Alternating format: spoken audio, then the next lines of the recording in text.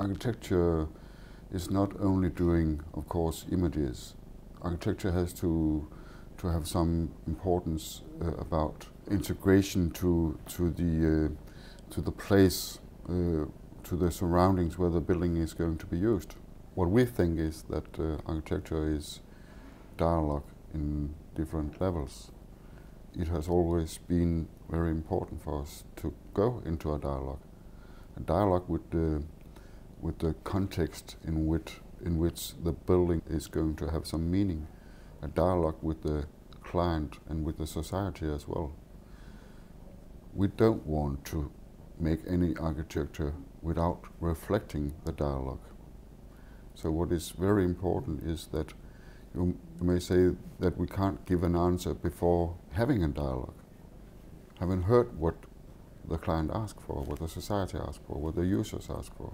Afterwards, we are going to translate it, giving it a meaning. Our approach to sustainability is a, you may say, a holistic sustainability.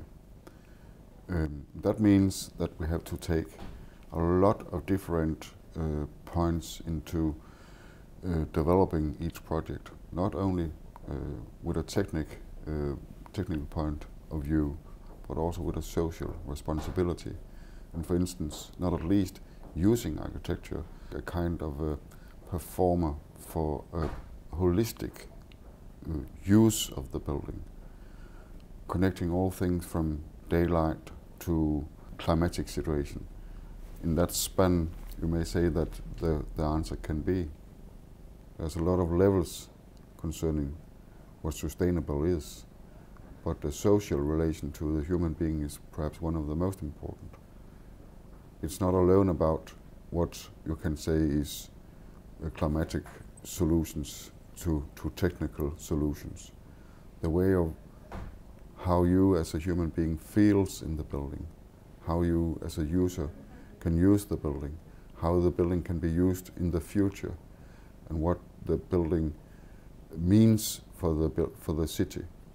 It's also one of the answers concerning to sustainability.